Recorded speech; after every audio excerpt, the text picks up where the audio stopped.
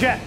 真的到了最后，哎，原来韩国一次口惠而实不至？你该要有的这个所谓的面子，该要有的场子，我都帮你做足了。可是你要跟我要招委，要什么什么东西，一概不认。就是因为这样子，哎，柯文哲什么都没有要到。才会晚上急着打电话说，哎，我有什么东西可以换过来的？宝儿，当然第一个韩国语叫什么？大娱乐家哦，就是看完他的表演，你非常高兴，非常爽，结果你发现自己什么也没有拿到，什么都没有啊。当然嘛，柯文哲原本最先想下注的是谁？当然是韩国语。所以你看，从党团到整个铺陈到骂柯建明，一直把筹码往上下，但最后发现一件事情，什么？哇，下面 long table，不，你韩国语什么都没承诺我嘛？招委好像有又好像没有，哎，立法院一一场合作，你说照顾小党，但是好像又不是针对我，根本没有实质的承诺嘛。所以柯文哲着急啦，为什么？因为他的手上的产品有保存期限的，二月一号就过期，到期了，哎，到期了嘛，所以你看，人家看看套生意啊，今给他你的看看套生，看看诺亚，我懂，所以他在昨天晚上忙着做什么？不是，可是我不懂的是，如果你要换的话，也跟你讲，我要换换个副院长已经不得了了，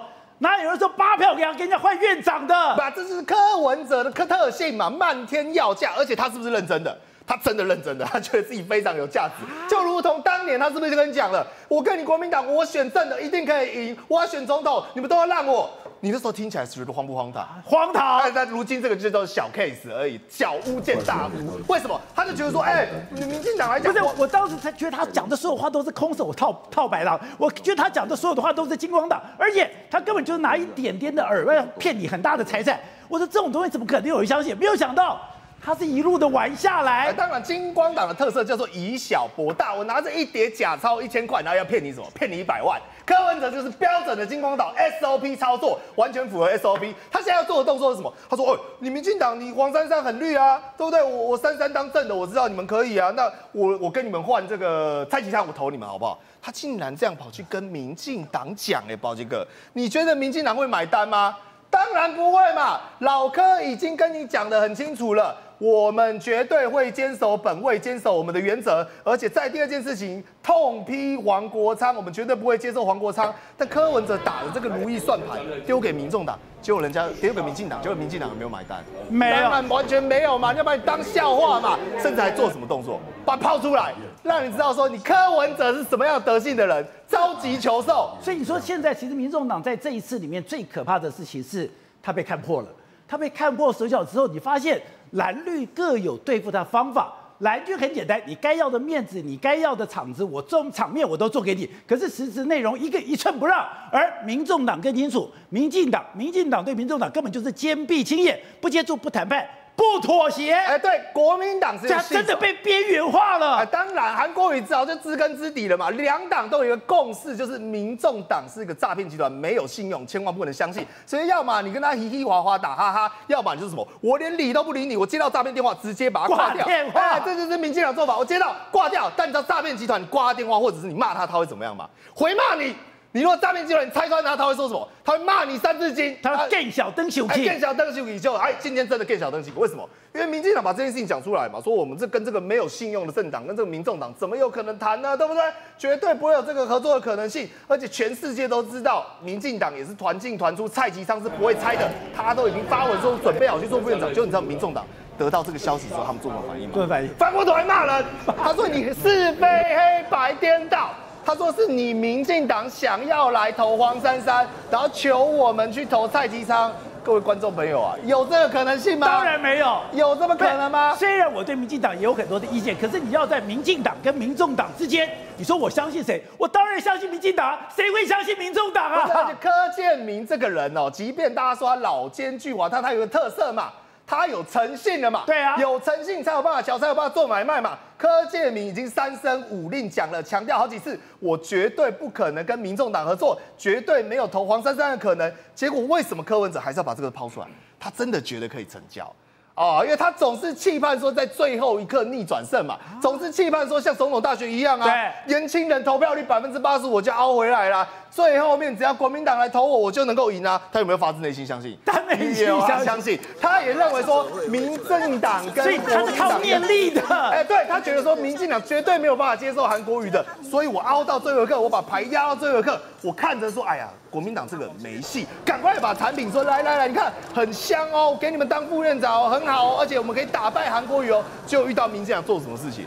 一桶冷水给泼下去，去旁边啊，闪远一点。所以柯文哲的如意算盘就这样被蓝绿看破手脚。但更惨的是，如果院长选举已经证明他的产品臭酸又滞销，但是在未来的四年期间，他这些立法委员该要怎么混？好，董事长，我现在对柯文哲的敬仰真的如滔滔江水，一直往上。哎，恭喜韩国瑜当选第十一届立法院长，韩院长了解庶民心声，为人海派，沟通能力强，期待他能够促进朝野合作，政党间良性互动。民众党八位立委将提升立志效率，叭叭叭讲一堆。哎，如果今天按照了这个所谓的陶本和的说法，或者今天把陈志来说法，昨天是有互动，而这个互动的过程里面，刚刚讲到。他们是把韩国瑜讲的很不堪的，韩国瑜是一个要把他给丢弃的角色。哎，你把你前两天把人家卖了，把人家讲的那么不堪，结果现在哎，韩国瑜了解庶民心声，为人海派，沟通能力强，促进朝野合作，政党良性互动。不，他现在写这些也没有意义嘛，对不对？但这样最后今天的结果就是大家已经确定。这个八票在立法院是没有功能的八票，那以后的立法院的运作非常清楚的，就是国民两党的合作关系嘛。对，那国民两党合作关系那是谈判嘛，对不对？这个案个案谈判嘛，这个也没有什么太大的困难。对，因为韩国瑜这个人本身他不是一个很冲突派的人，那韩国瑜本身是比较在台湾的政坛上来讲的话，是一个等于说一个奇一个一个一个典范，一个奇迹型的人物啊。他从高雄市长到高雄市长被罢免，要跑来当立法院长，这是他的人生的这种跌宕起伏来讲的话，确实令人跌破眼镜。对，今天你要来评价韩国瑜的话，那个意义比较大一点，就是说他会不会跟赖清德这个打对台，会导弹？他不会的，因为他还是有一个有政治的一个规则。来推动他的政务。那台湾的立法院早就有一个很多的一个惯例的存在，我想这个都不重要，主要就是十五天以来，我们大家不习惯的，在观察的，就哎，你这个民众党到底你的脉络是什么？对，你的行事风格是什么？现在我们发现，哦，又来了，还是一个欺骗嘛，还是一样嘛，就跟在十月十五号当天一样，签的字不算数嘛，他就在他昨天晚上。还想骗嘛？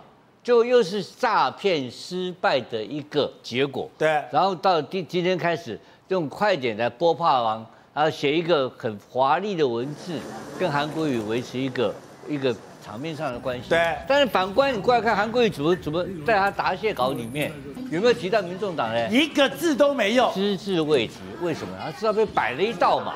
知道你晚上要卖我嘛？知道你今天上午这个八席投下去的时候，还希望跟跟那个白绿合作。对，他说你从头到尾要卖韩国语嘛？韩国语知道啊，他知道，他他不是傻瓜，我都知道，他怎么不知道？对不对？他的情报比我们更快嘛。对。现在问题是说，好，那我觉得这一幕已经翻篇了啦。就是在立法院内，民众党确定是一个没有用的政党，这不是这不是今天发生的。在上一届的五席就没有用，这一届的八席更没用，没有用嘛，因为他这无关宏旨嘛，他们玩专业也不够嘛，也战力也不足嘛，他去他他他们上一届的五席里面，唯一最强叫高鸿安，结果你一个四十六万会被贪污起诉啊，这所以表示他的政治能力跟他的法学素养都非常差劲的一个政党，乌合之众。然后最后回回到来，今天讲一个，你看今天他们这些乌合之众的那个意识形态的冲突多严重。陈昭之这个刚刚会真讲，会真讲的对，他故意的，他故意。你也觉得陈昭之故意的？因为陈昭之夫妇两个人我都认识啊，没有说很熟，但是我非常尊重他们的风格，他们是真正的铁律到底的人。铁律一边一国，他们挺扁的一个核心大将，在最扁、在最痛苦的时候，他们不离不弃的干到底。是这种人哦，他们是真的玩一边一国的人，真的真的是台独的基本教义派。因为你的民治民进党内有很多像这种，呃，有有有不少这种非常坚定的铁杆台独嘛。那这个你要尊重这种人啊，对不对？所以他这个铁杆台独的人要去投一个票。然后让韩国瑜当选这个事情，你做没搞？这太赶扣了，哎，不要多啦。但是他们就这样看嘛，按照铁杆台独的看法，哎，这票够邓欧一啊，好韩国瑜动算，对啊，我我者不不可能嘛，所以他搞废票。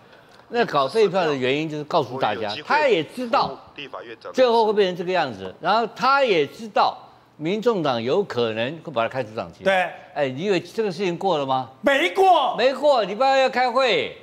开会情况之下，为什么不敢开除党籍？后面还有备位的人要准备接。对，为什么为什么不开？哦，你黄珊珊讲的就算了，没这回事。当天的八个人，任何人出来作保都没有用，因为他们都不是中评委。对，中评委一开会一开闸就才是决定纪律的。对，要中评委决定。所以他今天讲难听点，你要我们今天要非常肯定陈昭之，要佩服陈昭之，他是拼了一身剐，就跟你干到底啊！铁杆台独怎么样？就偏开除就开除嘛，他是有被开除心理准备来干这个事情的，不然他为什么要干？所以我们要尊重招之姐，要今天非常肯定，在立法院内表现，民进党、民众党表现第一名人是谁？是陈昭之，我尊我尊敬他。好，玉凤是，哎，你也等于说在江湖惯走惯了，在江湖走惯，陈昭之这个真的是故意吗？对。还有，哎，今天民众党到了最后一秒。还想以小博大，也太不可思议了吧？对，我们要现在讲一件事情，就是他们真的是太厉害了。其实从昨天晚上那通电话开始，你就可以知道，民众党这个诈骗集团已经走到穷途末路。什么叫穷途末路？你要骗，你要骗到底，你不能主动去示好，不能去打这个电话。你骗到一半，你要不要上钩？那是我们的功力的问题嘛？那昨天晚上，然后站的小姐已经确定有打这个电话了。如果主动，对，就很难骗到了。对，如果你主动的话，就表示说你一定骗不到。如果呢，你丢出饵之后，你勾勾看，勾勾看，你不能够打这个电话。对，而且你想想看，今天绿营的朋友告诉我说，你说要台语讲说，爱想。对，他讲瞎的呀。对，如果没有瞎，你主动说哎五我五名票，对，没人会理你。你觉得民进党是笨蛋吗？民进党昨天的朋友跟我讲说，他们觉得说，到底民众党三岁还是把我们当三岁？你现在来讲弄一个东西，然后你说，哎，你八票要来骗我们的五十一票，而且呢，一个是弄院长，一个是副院长，他们讲说我们要副院长干嘛？而且副院长是下午才投，哎，我怎么知道这样恭维没信用？你到底会不会弄出来？所以呢，他打这个电话就代表说，他们的诈骗集团走到穷途末路。了，至少以后要骗民进党永远不可能的。你这招已经弄下去了。今天民众党亮出底牌了，对，亮出底牌。哎，你为什么想？说这个亮出底牌至关重要？是因为未来国会三个党结构已经形成了，而这个结构对于白色非常不利，因为你本来说你是关键少数，结果你不敢去挺蓝，不敢去挺绿，你就真的真的变成无足轻重的这个所谓的八票。还有，没错，整个过程，你说民众党。真的被柯建明吓到了，宝姐，实际上民众党这八席到底是钻石还是玻璃来说，从今天的哎，从明天的这个这个所谓的立法院院长选举可以看出端倪。那一开始的时候，他们要装他们是钻石的样子，所以装的非常多啊，我们要国会改革啦，然后蓝绿两党都来了面面试啊。但是今天呢，他们先出底牌之后，玩了十五天之后，他们现在注定说什么都玩不动，而且什么都没有，对，什么都没有的一个状况。好，那他们今天是什么呀？他们今天说，哎，我们要自推黄珊珊当成我们的立法院的院长。第一轮没有当选的话，我们。第二轮就不参加，所以新董事长。保送了韩国瑜，可能在第二轮就会当选。对，那你知道这证明了什么事情吗？我觉得今天他们选出黄珊珊，证明了什么事？第一个，他们目前为止呢，不敢去民挺，不，他们不可能去挺绿，但是呢，他们也不敢民挺蓝，因为什么？他你有你就直接投给韩国瑜就好了嘛。但是他也不要，所以呢，没走。对，所以你在两边有原本可能两边承诺的东西，你什么也都没有得到，所以我才说你什么四项承诺什么招委，两边你都没有跟他们合作，所以都没有都没有成立。不敢得罪民进党，对。你也不敢站在民进党。的对立面，对，但是你又不敢这个跟国民党走牵手，对，所以哎，韩国瑜今天就不痛不痒、不高不低的讲，谢谢大家，未来共同努力，对，他也没有人情了，对，那你讲他们的某某些程度来说，今天柯这个柯建明就出来，他说我从第一天就知道他们会投给他们自己，那这样你看柯建明在整个这个整个作战的过程里面，他对自己说。那你你就投给蓝军就好了嘛？你就投给蓝军的话，证明你就是小蓝啊，你就跟蓝军混一起啊，你就证明你是投给这个韩国瑜这样一个状况。可是某些程度来说，这样子来来说啊，就框住了蓝这个白影，因为白影他们真的也不敢去投嘛。所以说，柯建明这段时间不但给民众党道德压力，不但给他情绪勒索，就说哎，你如果投给韩国瑜是非常丢脸，你如果丢给韩国瑜可以跟中国打交道，你丢给韩国瑜在国际外交上会非常非常的可耻。是的，哎，没有想到。这只是柯建明的话术，对，这只是国柯建明要去框住民众党，而民众党真的因为这样子不敢去投给韩国瑜了。对，所以你就知道说，民众党你看原本的所有东西都没有得到，连这个立法立法院长大概也没办法得到，那证明什么？证明这八席变变成无足轻重，因为。要如果因为立法院院长就是个关键，你既然不敢得罪蓝，也不敢跟绿合作的话，那你这八席能干什么？没有，林俊宪说的非常清楚，这八席证明了你就是没有用的八席，没有用的八席，自己放弃了最能关键扮演关键小少数的机会。他说啊，以后啦，你这个招委也投给自己啦，法案也投给自己，什么都投给自己，证明你自己就是没有用的八席嘛。什么叫做关键少数？关键少数就是投给谁谁会赢啊？是关键少数是你要在关键的时候要敢于表态。但是你这样才能够，哎，才能够一锤定音嘛。但是问题在这个关键时刻，你是选择让科皮他们的巴西跟他们巴西选择躲在后面，躲，我两边都不要得罪，不敢玩这个牌局。在大战场中间来说，要勇往直前才能够决定胜负嘛。所以林卓水说的非常清楚，林卓水最早一开始他就是说他们是玻璃还是钻石的人嘛。对，他讲的非常清楚啊。他说你看。你跟你看，人有人就说你跟川好像你跟川普一样破坏式创新，但是他说你只管破坏，你根本不敢赌上去，赌上去才有创新的可能性，不是？才能开创一个破坏都是小破小坏，对，所以不敢大破大坏。对，所以林卓伟就说你根本就是不跟川普不一样的这个状况，所以他直接就呛瞎你这个。他认为说，民众党经过这一种，你这几年注定你会变成泡沫。好，我们看到当柯建明开始啊，你原来你现在回到看的柯建明那个动作，柯建明所有的讲话都是我要框住民众党，框住民众党，他早就知道民众。党不可能跟绿营合作，既然不肯跟民民进党合作，我就不要陪你玩这个局，不能陪着玩这个局，我也不能让你的票跑到对方去，所以我不断给你道德勒索，跟你情绪勒索，让你不敢投给韩国瑜。现在你真的要自己投给自己，你要真的要投给黄珊珊之后，我就看到新的招数出来了，哎，马上上报有一个独家杨毅，哎，他是跟国民党非常交好的，没错，马上讲说，哎，有四票不稳，对，然后呢，我看到不是随便讲哦，朱立伦马上讲，哎，他马上在他的中常会讲。明天是台湾政治的关键时刻，民进党如果用司法破坏、政治利益交换或者权威的勾结，搞烂明天的立法院正副院长选举，就是让台湾进入最黑暗的一面。代表，哎。朱立伦今天感受到什么？对，要讲这么重的话。对，为什么我们就说民众党是无足轻重的巴西？因为第一个，他们今天底牌亮出来之后，你就看，民进党就开始进攻了。怎么进攻呢？柯建明就开始进攻了嘛，或者他们内部开始去挖蓝营的墙角，因为确定了你的底牌，我只要挖几票过来。现在就传言说有四票不稳。那当然这里面来说，有人是什么跟跟司法有关，有人跟金钱有关，有人是跟权位有关系的，他开始要挖这四票。所以呢，这个报道出来没多久之后，你看国民党马上就讲了，哎，你们。民进党千万不要玩这个游戏哦，否则你们玩的话就是利益交换或者是至暗时刻。但他也同时警告我们国民党呢，可能要用亮票的方式，要确保说每一张票都要投到我们的候选人。他从才寄出非常严厉的处分哦，比如说党不分区的话，就直接开除党籍；另外一个，如果区域立委的话，停止三年的这个党权哦。所以等于是非常严重的党纪处分哦。傅昆萁怎么讲？这不是个人的荣耀，对，更是国会的尊严。没有出席，对，你就是跑票。对，所以现在这样，你就是看蓝绿怎么玩。你白哎，一点都发挥不小影响力。所以也就是，如果民众党真的敢去投给韩国瑜的话，那民进党有没有犹豫空间？有运作空间？是，绝对没有运作空间。对，你再怎么挖三票、四票、五票都没有意义。对，可是你今天只要确定中间民众党这个变数稳住了以后，是。柯建明，我认识他那么久，对，他就开始上下其手了。也就是说，柯建明透过这一连串的操作之后，他有什么不敢的？框住了这个民众。我就跟他讲，我跟他讲，为什么这样？你如果看整个操作来说的话，第一个，他就说，你去投给韩国瑜，你要确定这个立法院院长就是这个样子的时候，那可以证明说你不就跟他合作。再就是说，其实。黄国昌某些程度他也被框住了，因为黄国昌跟韩国有一个拥抱。你看网络上在梗图传成什么样子？你觉得黄国昌他现在敢去投给韩国瑜？某些程度他们也不太敢去投给韩国瑜了啦。所以来跟你讲嘛，所以这那也是来哈韩国当然啦，你就哈住黄国昌，黄国昌你敢跟韩国瑜站在一起吗？你那几年在做了什么事情？你怎么讲的？所以才说嘛，某些程度啊，这个双方都在这个身边啊，身好，于宪。当今天民众党讲，哎，我们要推出自己的候选人，我们要推出黄珊珊，我们要去投自己的人，这跟八票投给自己是一样的。那如果是这样的话，按照现在五十四比五十一，照理讲，哎，那你是按住国民党啊？那国民党应该很高兴啊。那我们也看到傅昆萁一开始，哎，很开心啊，有点感谢民众党的味道。可是为什么到了下午到中午哦，马上猪羊变色，情绪完全改变？这个情绪改变，连傅昆萁都讲哦。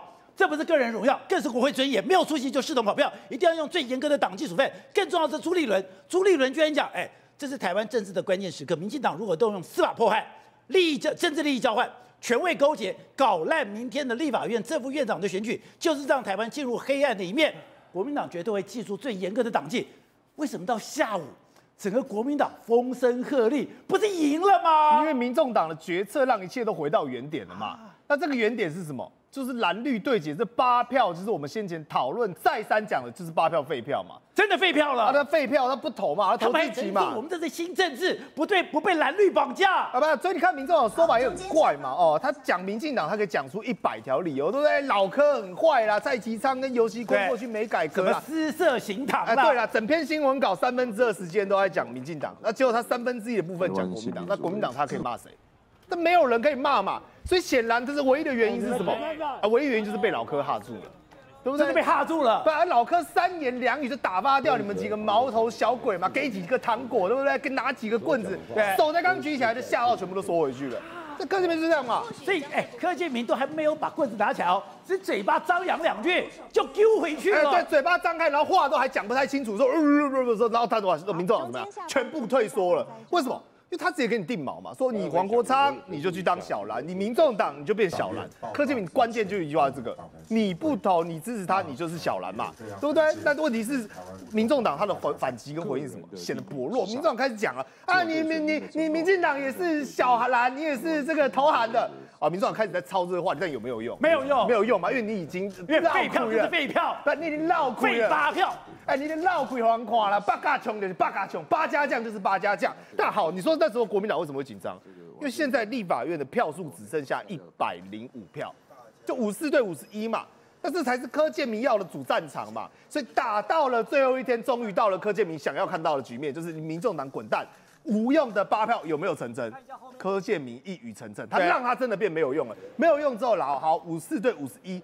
其实只要跑两票就输了，对，所以国民党今天设下天罗地网。来，我跟各位报告，国民党现在的总召是谁？傅昆傅昆奇啊，对不对？所以他们未来这五十四个通通串起来，将分为六组，六组投票。那每一组是九个人，你说分组要干嘛？因为他有小组长，小组长要开始每一个委员盖好之后，小组长要负责验票。就是说我事前就要先看过了，比如说你里面有什么问题，有没有盖错，有没有猫腻，而且这五十四个委员通通都要投在哪里？同一个票轨。你知道国民党多紧张吗？吓死了，就是为了严防有任何跑票的可能性。可是真的有传出有四票要跑吗？而且连人名都出来了。哎，对。而且为什么担这么担心？因为朱立伦打电话找不到人。因为啊，我们讲国民党结构是这样，他点名中有几个啦。第一个就是我们一直在讨论的。有司法官说疑虑的，为什么？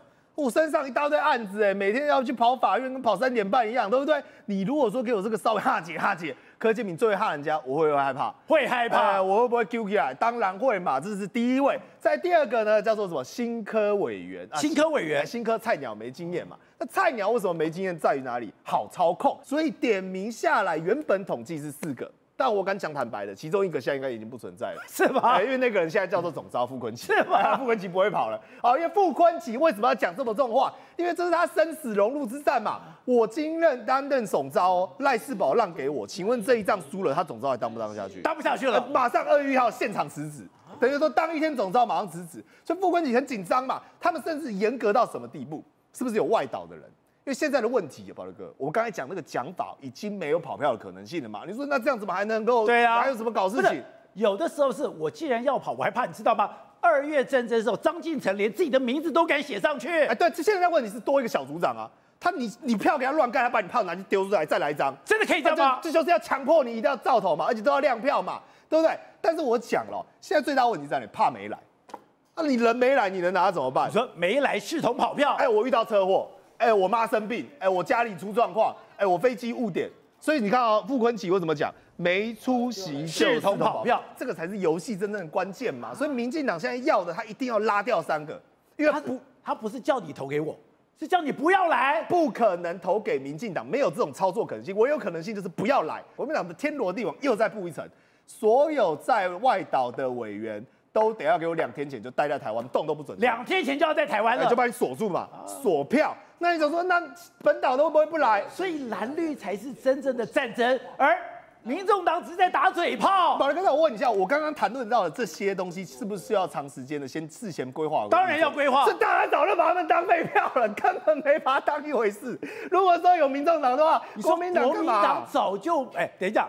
蓝绿两党早就已经看透民进党、哎民众党了。哎，别人笑科太疯癫哦，其实是他自己看不看不穿而且宝林哥有一个美稿、哦，今天立法院你知道二月一号重点在哪里吗？它是报道日嘛。对，你今天一个立委要走红地毯要报道，能不来吗？当然要来，所以人只要一到报道瞬间，全部都口起来嘛，会有人负责盯人。哎，进到 K K 园区一样，全部把你锁住，不让你出去了嘛。直到你投完票为止，我才让你跑嘛。而且每一个责任组长，其中傅昆奇担纲角色，我们是不是讲到有三票可能会跑？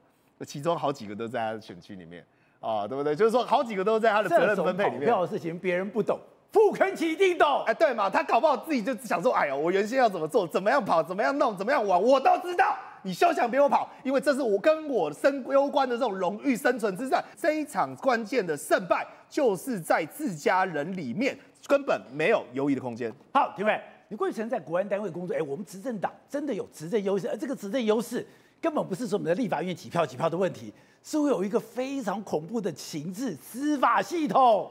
你不要以为说政府只有行政立法而已啊，政府还有司法监察跟考试啊。那司法特别是最重要的，你知道，我们知道在立法院当中很多立委啊，特别是区域立委哦，背后来讲不知道官司到底有多少。你看今天朱一伦讲那个话的意思，就是说你真的不要被官司吓到。对那为什么要盯这些人？因为你如果官司还有很多人问题，就是钱的问题。因为区立委在选选举的时候都要花很多钱。对那是不是有说金钱上面的往来的问题？再来一个问题就是什么女人的问题。你看到之前的话，赵天麟不是被放出很多照片吗？对那国安单位当中有很多情治他们都有，手上都有，而且这些东西全部都在局长、国安局长的桌上，全部都有。我们所有的政治人物的相关黑档案、黑资料，那边都有一份哦。也就是说，他什么时候放出来，什么时候不放出来，那是由什么由执政党来决定嘛。那执政党是谁？目前是民进党的执政，所以其实哦，老柯基本上老神在在啊。为什么？因为他有太多工具可以去使用了。对那今天来讲，我认为哦，不只是国民党啊、你民众党内部来讲，那些人也说不定也有一些案底的人在里面，也不一定。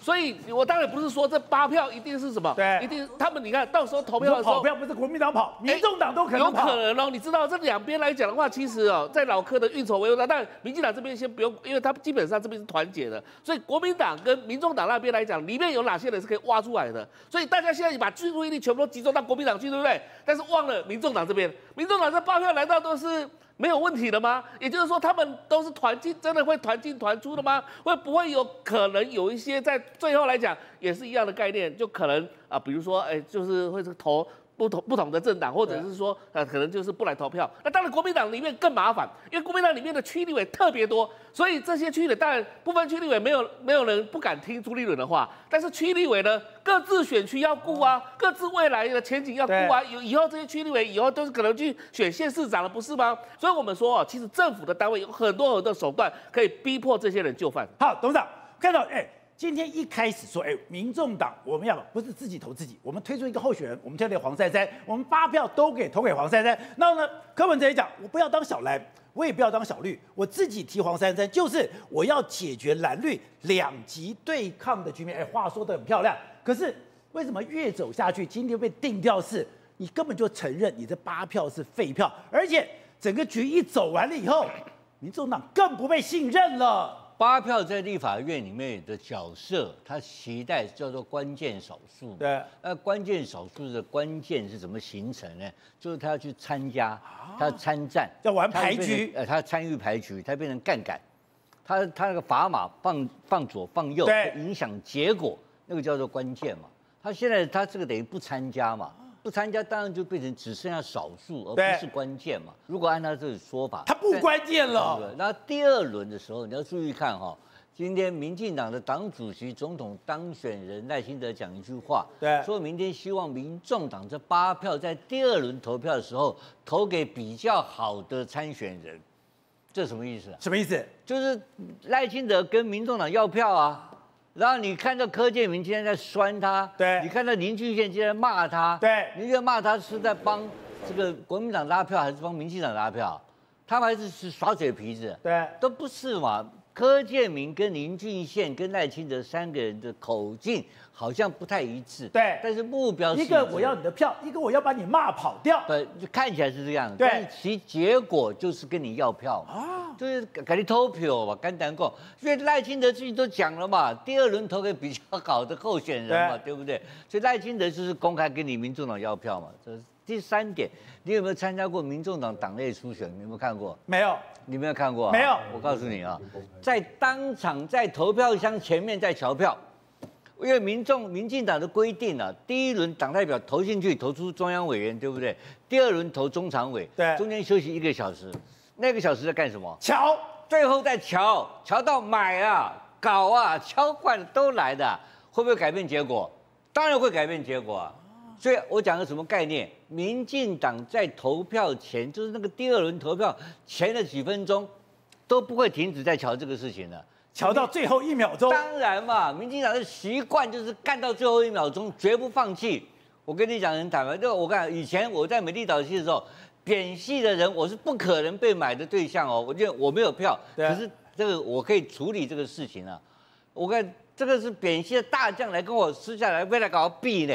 那，这铁征条出来搞避嘞，我舅舅，我们当时笑笑就走开了嘛。我告诉你，民进党的习惯，他没有到最后投票前那一秒钟，他不会放弃的。绝不会放弃瞧任何每一个人，什么怪招都会用，用得出来。你看讲用花钱最小的事情了，官司当然瞧。还有什么？我跟你讲，所以朱立伦今天才会吓成这个样子。那你你刚刚还有大家在谈说，哎呀，什么先报道啦，到时候要监票啦，然后要亮票啦，有没有用？没用。当然没用啊！你别会造型，跟你公开，跟你表。对呀、我跟你公开跟你拼的，这一秒钟我就跟你跟你拼，你烫的时候就赶紧就赶紧拼落去啊，那就反了嘛。对，因为你如果说你确定这个发票已经不在的话啊，那个东西当然有很多管道开始就运作了嘛，而且运作真的是今天运作。所以你的意思说，今天柯建明为什么今天这个讯息在今天传出来？这个讯息传就是我要确定你民众党确定你要这八票投给自己，你八票不会留给韩国瑜，然后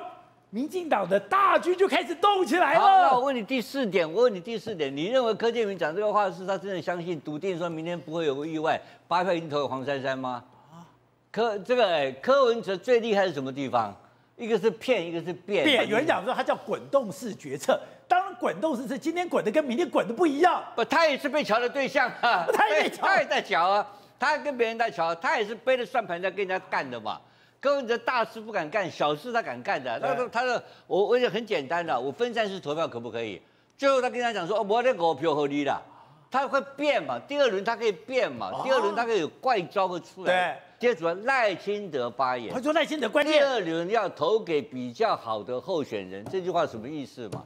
当然在动嘛，没有在动，他在在在林俊宪讲话干嘛？对，俊宪疯了，他跟你讲意思是说，呃，哎，你讲对关键嘛，君无戏言。他如果今天讲的这句话，明天还输了，那不就丢脸了吗？谁输了吗？不知道，不是我弟说不会输啊，他是对，他代表他是有什么把握才敢讲这种话的？他在争取，他的态度没有改变。今天我们大家都在讲，现在我们在这个节目上面谈什么？谈八票比废废票嘛？对。啊我现在告诉你不一定嘛。柯建明就是柯文哲讲话，你能相信吗？不能。柯文哲讲话不能相信嘛？八票一定废票吗？不不一定嘛。明天说三票废票可不可以？他把你拆开来干可不可以？柯文哲什么事都干得出来，但是如果明天是因为他这个八票而立法院变成了这样，民进党赢掉的话，他民众党他这个民众党就挂掉了，你知道吗？他以后怎么办呢、啊？对，他本身还要想想去想去想去有和中保台嘞，对，他的小草怎么交代？所有的小草看到就是你的民众党今天为什么会到成立或者今天的力量？就是你敢跟民进党干嘛？对，你比民你比国民党的战力强，我才把这个票投给你。结果你现在帮民进党忙去拿到立法院的席次，你要混个屁呀、啊！二零二六还不还要混啊？没得混了嘛，就知道说你是一个没有胆量的一个咖而已嘛。对，刚刚讲的，今天确定说，哎，民众党刚刚讲，我不不会去投投给这个游锡坤，我也不会投给这个韩国瑜，我投给自己。当然，对民国民党来讲，好像。按住国民党，所以我们看到早上傅昆萁很高兴，可是真的高兴的太早吗？而且你也同意这个吴董讲的，他们随时会反水吗？我不知道尤熙坤跟韩国瑜今天早上看到这个记者会，心里是怎么样？我看到以后，我觉得是很不舒服。不舒服。对，那你们前面都在玩什么呢？先开四个考题来作答，想要争取我的支持哦，就作答啊。然后接着又说想要争取我的支持哦，来党团拜会我们，来跟我们说明。大家都做了以后，昨昨天晚上陈自然还在争论节目上打分数哦，看起来韩国瑜是比较有诚意哦。演到最后一刻，今天早上，哎呀，拍谁哈？我谁都不要投，我要投我们自己人。那所以你前面在干嘛呢？什么叫关键的力量？关键力量你就是可以决定谁当选。对。结果你现在还是放任给蓝绿自己去角力，让民进党的司法的力量或是各种的力量进来干扰国会的选举。那你怎么会是关键力量？好啦，这也是关键力量，让民进党可以动用其他的力量进来。所以你也感觉到有其他力量会进来。当然了。这一波的整个民进党的操盘，之前尤熙坤像个傻大个儿一样在节目说：“哎，我们怎样呢？”那个赖清德说叫我给柯建明去操盘，赖清尤熙坤自己要选的人，他完全不知道民进党要怎么去运作，全部都是老柯在那边操盘。老柯怎么操盘呢？操盘有两种，第一个是帮尤熙坤多拉到支持者，第二个是让别人不去投韩国瑜。选举正副议长选举就是有这种两种两种方式。大家还记得以前地方的正副议长选举哦，光怪陆离的现象很多，把人家压上车了，说梁健那边倒啊，梁健唔够你麦去倒去嘞，好，你就不要去投这一局，你不要玩。哎，这种过去前不久才发生嘛，压上车以后，投票前集体去度假，把关键的票数压上车，说梁健，我知道你没有办法投我，好，可是你也不要去投他，为什么？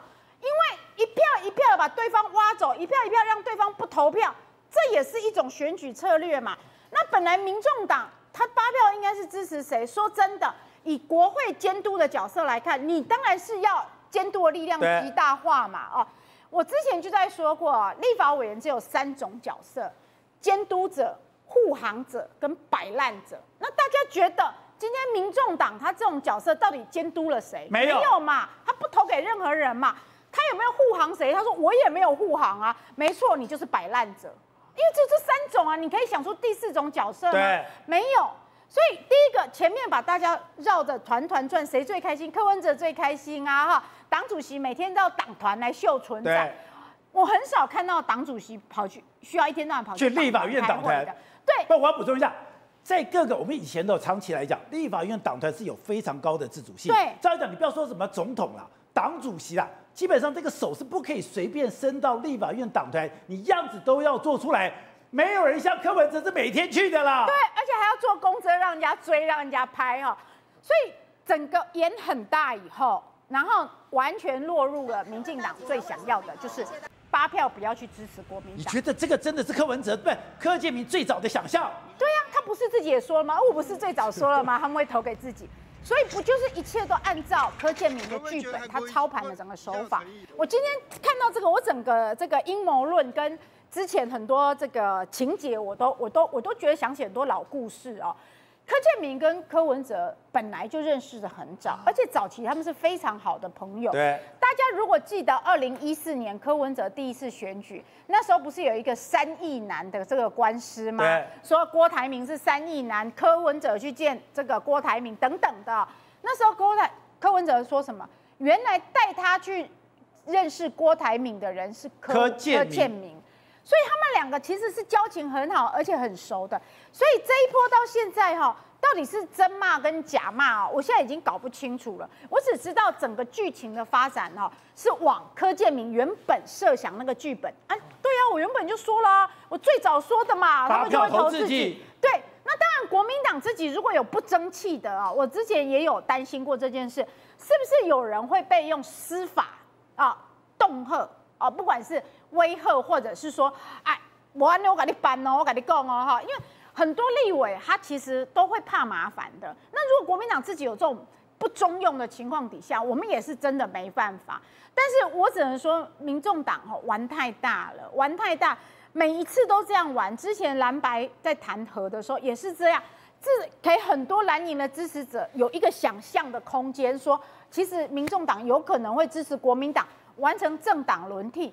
所以那时候很多不管是蓝营的企业家，或是蓝营的这个民众，其实那时候对柯文哲是非常有认同感跟好感的，因为大家都一直想把他们抠在一起。等他所有的声量都撞完了以后，他说没有啦，我要自己选，不就跟现在一样吗？所以我真的觉得就派到点了这个政党。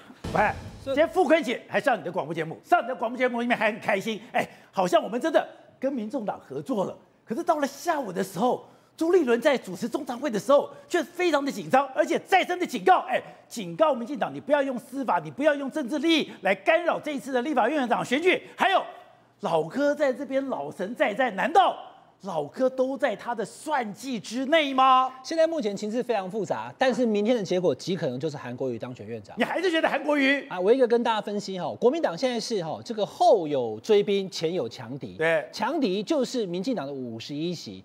那后面的追兵是什么？原本以为是民众党要投给游锡坤，现在没有了，那怎么办呢？国民党要是跑票，刚刚宇轩跟大家讲了，跑四票就会有问题。但问题是哦，这个新闻是一个国民党跑很久的资深记者写的，对，他不会乱写，所以显然是有这个风声。哥宝，这个我先把这题，可是重点在于你朱立伦下午是真的在中常会很紧张啊。其实基本上他一定要让大家觉得紧张，因为这个紧张态度让明天才能下重手。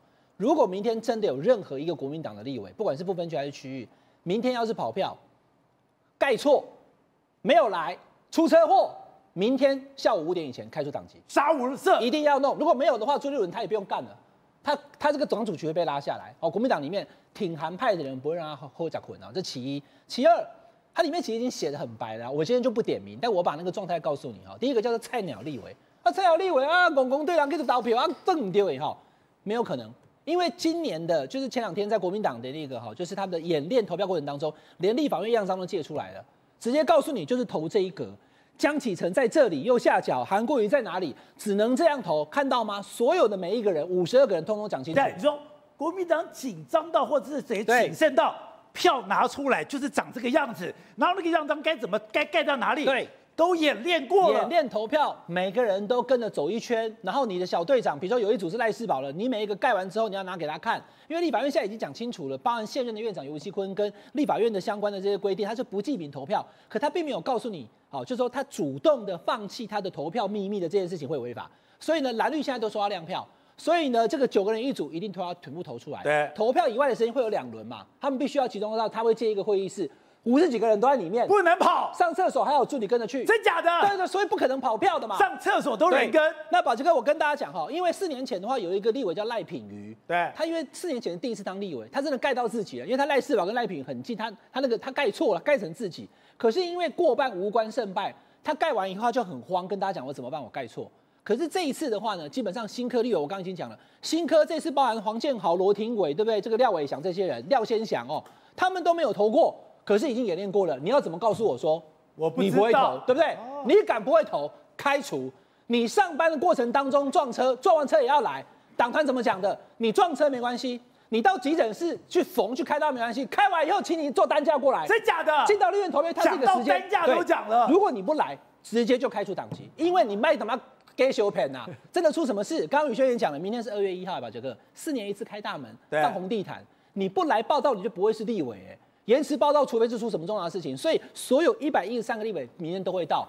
到了以后，你成为立委那个身份，拿大家走了红地毯以后，报道了，恭喜委员以后，然后马上要投票，你别找你的，你别找得比，跑去厕所锁起来哦，直接叫立法院技工把门撬开，所以不可能让你跑票的啊，这其一，这叫新科立委，就是就是莫名其妙都晃。那可以讲吴董讲，我我既然敢跑票，我就跟你赌，就像当年的张敬成一样啊。对，好，那时候我就进到第二跟第三状况了。第一个叫新科立委、菜鸟立委，搞不清楚状况，已经教你了，反复教你，明天早上还再教一次。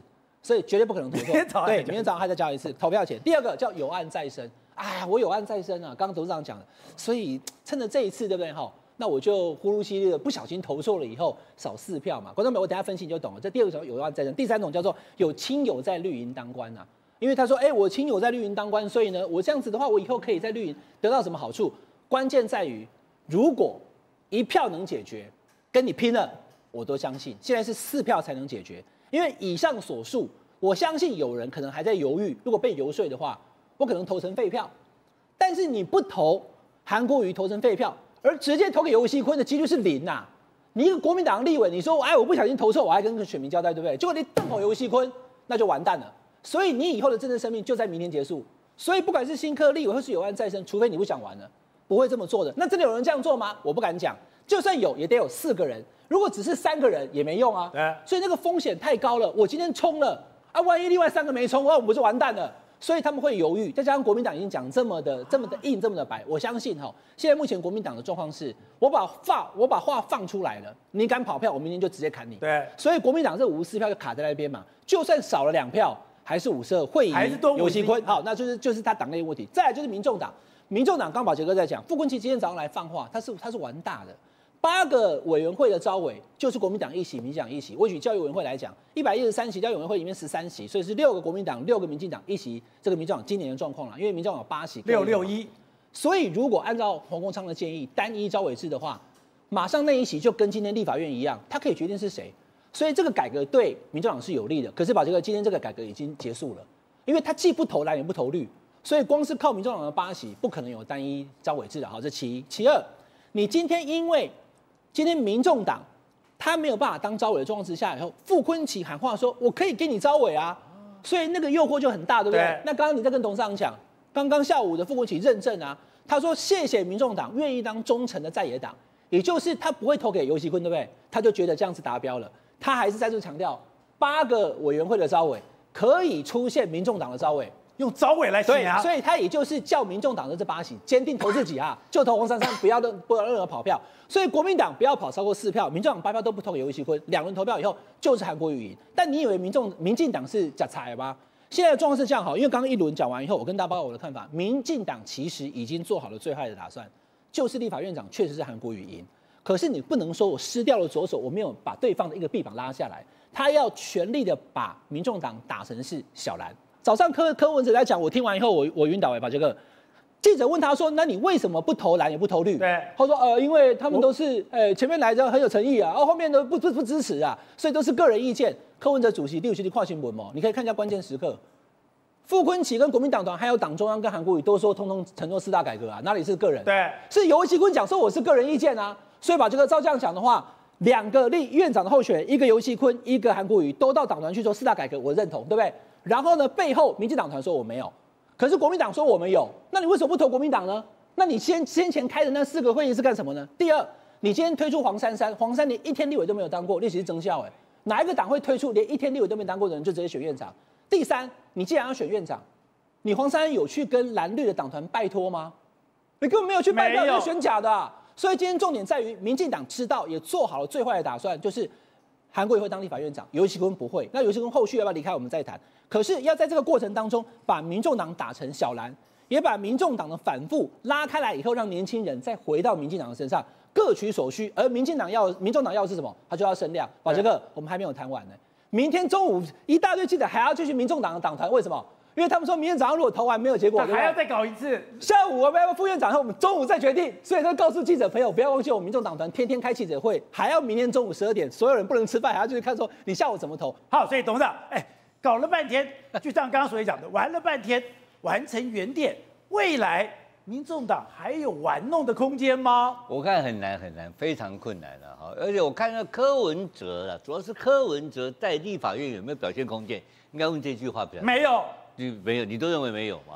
所以柯文哲就回去当他的阳春党。立法院最大的大喜就是立法院院长的选举，因为立法院长选举那才是真的政治角力。过了这个之后都是法案，那法案很琐碎，没人会关心的啦。是，所以说嘛，所以在整个民众党就一个人的党就是柯文哲嘛。那科比就不去了嘛，科比没有理由去了嘛，他再去坐公车，再去行五百，根本都没有用，没人理他了，五百都没有用，没人会理他的嘛，柯文哲就没有声量了嘛，柯文哲躲在台波的党主席办公室里面，慢慢的花国家给他的经费啊，每天吃便当，我每天在约他的一些人讲民众党内部的是非，两年后要选举再见，就是柯文哲的情况。那柯文哲都没有声量，其他还有什么声量可言？没了吗？没有了嘛，因为国民党跟民进党两个之间，他们在议题的合作上面的空间有多大？大的不得了嘛！他们除了重大，刚刚我还不是讲嘛？哎，傅根奇说招委都可以谈，啊，招委可以可以谈，跟可以跟有确定要给你是两件事情啊。傅昆奇傅昆萁是我好朋友了，对不对？他什么他什么事都可以谈呐、他没有他没有不能谈的事情啊，什么都可以谈今天晚上今天晚上柯文哲一定呃傅昆萁一定很忙嘛，对不对？但那个叫做不确定嘛，不确定，而且懂招委利害关系的人的民民众党有谁啊？就一个人嘛，就黄国昌嘛。黄国昌去当了招委，可能还有点用。对其他人都是傻孩子、傻瓜嘛，坐在那边，你要我吴子嘉平常嘴尖舌利，坐在那边当招委。对我变成傻瓜一个，我不会主持这个会议嘛。这个有游戏规则、啊。对。那个你没有一天的训练，你法院旁边的秘书长那边主导，给你也没用。对，给我也没用啊，我你不懂嘛，你这个里面有技巧的问题啊，这个有很多技，还有什么叫临时要停止会议啊，什么宣布散会，那技巧一大堆啊，对不对？然后你要很懂会议规则。到那个里面复杂的不得了。柯文柯建明就靠这个玩意儿混到总招，对混了几十年。说这个东西他就要有代书嘛，还有你为还有微玩歹书啦，因为他有特别的那些花样在里面嘛。你问苏会嘛，他们在议会开会里面有没有花样？有花样啊。那菜鸟的议员区有个用啊，对不对？官员不鸟你嘛，对不对？所以民众党的八狗是傻瓜一样，唯一一个有力有力量的，会懂得操作这个事情的人，也只有黄国昌一个人而已。对那黄国昌一个人有什么用？所以这个党这八个人未来是没有任何的功能的。有这么惨吗？嗯我现在讲很简单的，他们现在讲，他们目前这两个人对外讲啊，我要去参加法制委员会，啊，还有另外一个我参加这个叫做财政委员会。我请问我们跑过立法院的所有的记者，这两个委员会有没有人记者会有没有人报？就很简单嘛，这两个委员会没有记者就跑的。你有看过哪一个财政委员会宇轩在那跑跑跑立法院？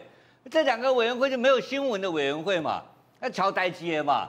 你在财政委员会干什么？就跟银行董事长绑乱嘛？那我就做好代志，这块你讲什么做什么什么什么改革？对改改改改头个几康的啦。苏慧刚刚讲的最对嘛？你要搞了十五天，把全台湾耍了十五天，耍了完呢，每天都是你的新闻。对，对不对？就大家都被骗了嘛，又再骗一次，他一次、两次、三次，不断的证明他是一个最大的诈骗集团。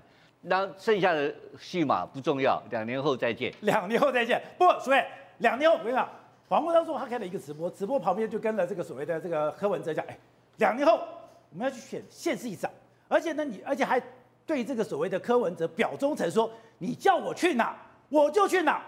在两年的两三年后的二零二六年的这个县市长选举，会对国民党、民进党造成威胁吗？